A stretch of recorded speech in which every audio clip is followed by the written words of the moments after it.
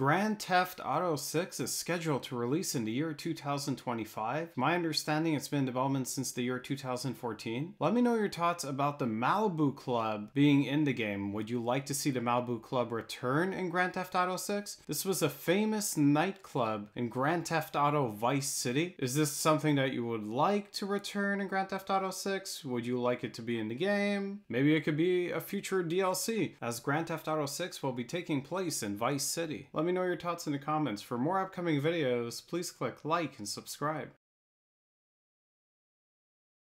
Thank you for watching.